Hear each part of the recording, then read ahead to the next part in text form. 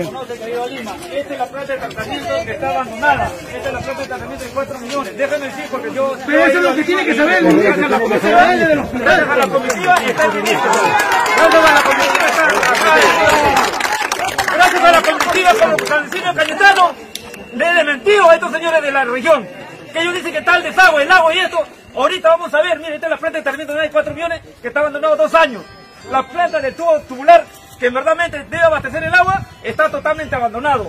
Todo está abandonado acá, señor. Acá es mentira que diga que está, ya se están atendiendo pacientes del COVID, que hay pabellones que se están atendiendo. Es totalmente falso. Y esto ahora está el 96%, no el 98%. Yo le pido, y como siempre han venido congresistas, hasta han venido presidentes anteriores, y nuevamente le pido a usted, señor ministro, que en verdad usted vea por la población de San Luis que Cañete quiere su hospital. Este hospital tiene votado nueve meses sin mover un solo dedo. Como le dije, trajeron carpas para atender a gente del paciente COVID, está abandonado. La frente también está botada. Vamos ahorita, quiero que usted me, me, me, siga. Vamos a ver la planta de oxígeno que está botado. Hace un año, el desagüe está botado, no hay condición. Ya la empresa le entregó la entrega parcial, el decreto de, urgencia, en el mes de diciembre. ¿Qué mes estamos? ¿Y por qué no puede funcionar? Porque no tiene los servicios básicos. Muchos gobernantes vinieron a decir engañar a la población que ya había servicio básico, el desagüe el agua, pero es totalmente falso, señor ministro. A mí me duele como cañetano y como vecino que estos señores siempre paran engañando. Estos señores de la región. Ahora la, la empresa se ha ido en una medida cautelar, denuncia. ¿Hasta cuándo va a durar? Yo sé que está en su mano, como le pedimos en Lima, cuando fuimos con la comitiva. Así tenemos que llegar al, Poder Judicial, todos los calentanos, a hacer nuestra protesta. Vamos a ir, pero tiene que este hospital entregarse ya, señores. Eso está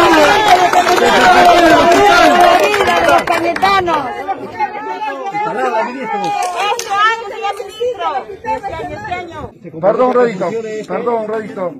Eh, entonces, el equipo técnico, escúcheme, vecino, el equipo técnico va a evaluar el expediente técnico y tiene que dar un check-in uno por uno. La columna, el techo, la ventana, la puerta, el desagüe, todo es un expediente técnico. En base al expediente técnico hay que dar una chequea, porque como usted dice, me pueden llevar por acá, para allá, mostrarme maravillas, y de repente no veo yo las...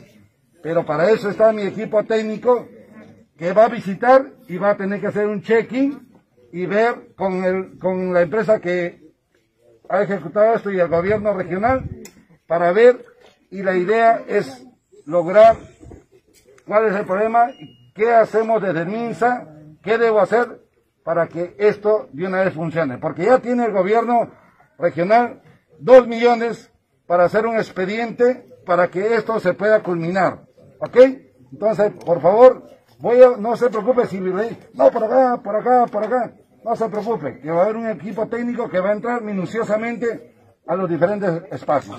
No quisiéramos que este año se construya el hospital, ministro, ministro lo control. Quisiéramos que nos responda, por favor. Amigos periodistas. Hay la voluntad de que este año se construya el hospital regional. Amigos periodistas, de repente ustedes no han estado cuando les he dicho, al final del recorrido vamos a responder a todas sus preguntas, porque si no nos desordenamos, por favor, señores, muchas gracias.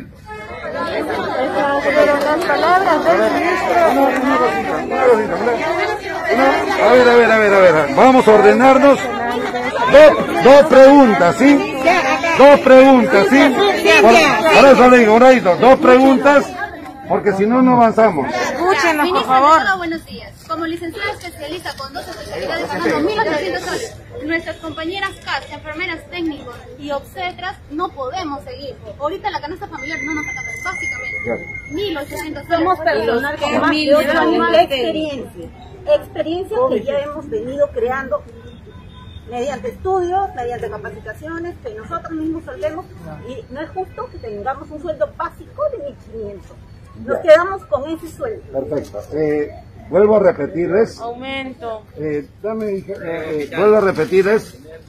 Estamos trabajando los días sábados a partir de las 2 de la tarde con los diferentes gremios.